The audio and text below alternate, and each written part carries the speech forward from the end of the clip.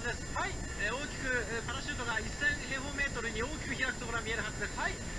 えー、間もなくメインのパラシュートを展開しますと 1000m になるメインのパラシュートが開くはずですソユーズガンカプセルゆっくりゆっくりと地上に向けて降下しています。間もなくです。もうすぐです。もう少しで地上です。ソユーズの下には科学の大地が待っています。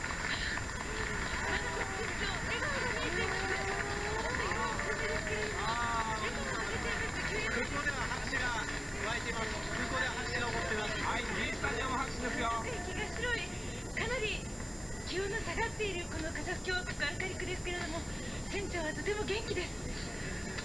マナコフ船長にとっては8月1日が初めてのフライトでした当然今回の期間初期間です手袋それから日照旗とソビエトの国旗が先に出されました。どうやら機密服を脱いでああ秋山のヘルメット。ありません。かな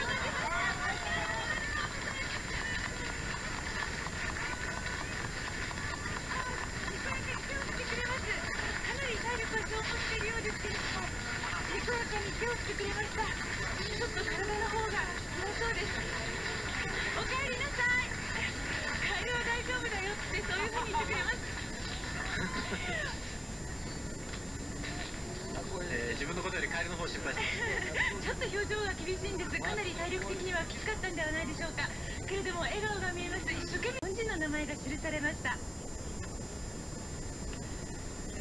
結局秋山さんは捕まりまして報道陣の写真を撮られているよ。うですね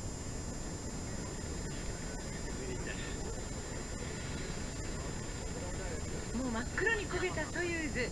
火だるまのようになって降りてきたこのソユーズの横に今秋山さんの椅子が備えられています。毛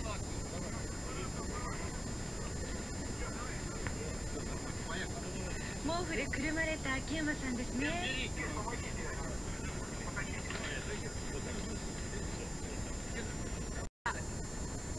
あ VTR?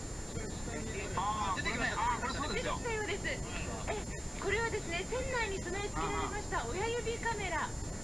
それによりまして撮られた船内の様子です、ですから大気圏突入時の船内の様子、そして秋山さんが見たというプラズマ状態になって真っ赤に燃え上がった窓の様子なども撮られているかもしれません、この VTR は、えー用意ができ次第こちらから再生してお見せいたしますはいわかりました。どうもありがとうございました。以上機関地点からでした、はい一旦なんかまた見たくなってどうやらカエルが出てきたようです。これ？どこどこどこ？